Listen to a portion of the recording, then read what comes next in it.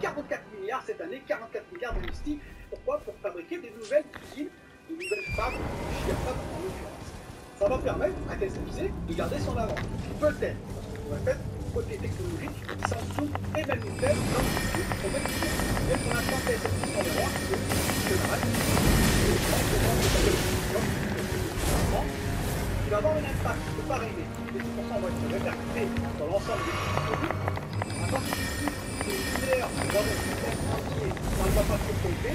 Quand c'est une majeure, par exemple, GPU, RTX, RTX 4000 qui vont être processés, les également AMD, les RX 7000, là, ça va commencer à compter. On commencer à compter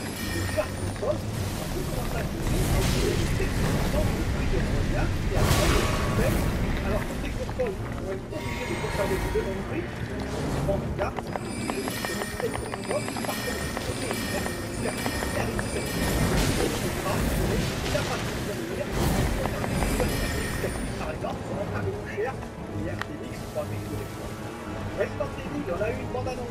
ça va s'arrêter à la saison 1 déjà? Ça commence comme ça.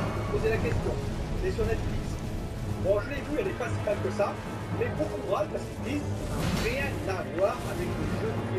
ça le problème. Une fois de plus, on a quelque chose, un jeu vidéo, pour en faire une histoire totalement différente. Moi, je vous ai dit, ça me gêne pas trop, suis très bon. C'est vrai que tout est gênant, mais je reconnais. Ça peut être pareil pour par exemple, Fondation sur ou par exemple The Witcher, en tout cas pour The être le cas. C'est qu'on le un on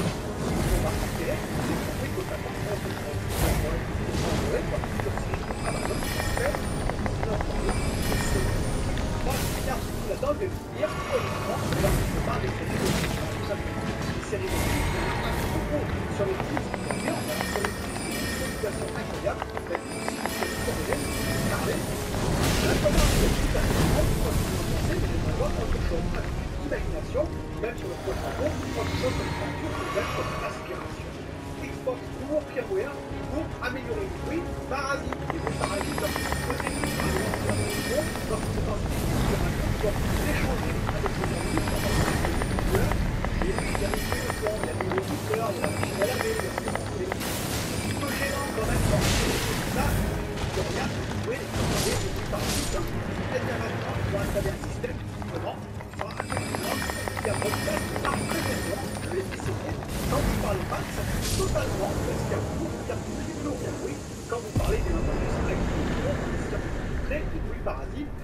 quand vous ne parlez plus,